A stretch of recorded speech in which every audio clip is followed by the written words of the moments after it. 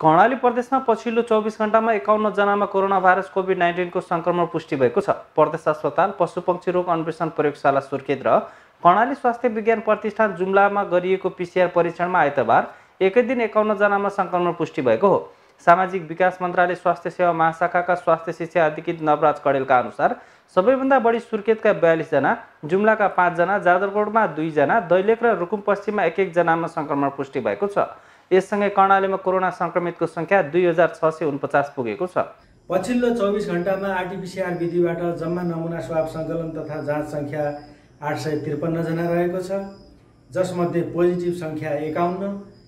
एकाउन्नजनामध्ये प्रदेश अस्पताल पशुपन्छी रोग अन्वेषण प्रयोगशाला सुर्खेतबाट सत्तालिसजना कर्णाली स्वास्थ्य विज्ञान प्रतिष्ठान जुम्लाबाट चारजना हुनुहुन्छ। नयाँ पोजिटिभ एकाउन्नजनामध्ये जिल्लागत आधारमा सुर्खेत जिल्लाका बयालिसजना जुम्ला जिल्लाका पाँचजना जाजरकोट जिल्लाका दुईजना दैलेख जिल्लाका एकजना र रुकुम पश्चिम जिल्लाका एकजना हुनुहुन्छ।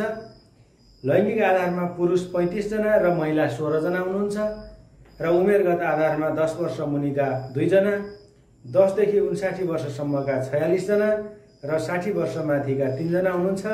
साथै कर्णालीमा आइतबार थप छब्बिसजना कोरोना सङ्क्रमित निको भई डिस्चार्ज भएका छन्। यो सँगै प्रदेशमा डिस्चार्ज हुनेको सङ्ख्या दुई हजार तिन सय सात पुगेको स्वास्थ्य महाशाखाले जनाएको छ। पछिल्लो चौबिस घन्टामा कोभिड उन्नाइस सङ्क्रमण निको भई डिस्चार्ज हुनेको विवरण प्रस्तुत गर्न गइरहेको छु। प्रदेश अस्पताल सुर्खेतबाट एकजना पुरुष हिमा आइसोलेसन सेन्टर जुम्लाबाट बाह्रजना पुरुष र एघारजना महिला कनका सुन्दरी होम आइसोलेसन जुम्लाबाट एकजना महिला र गुठी चौर आइसोलेसन सेन्टर जुम्लाबाट एकजना पुरुष गरी जम्मा छब्बिसजना डिस्चार्ज हुनुभएको छ।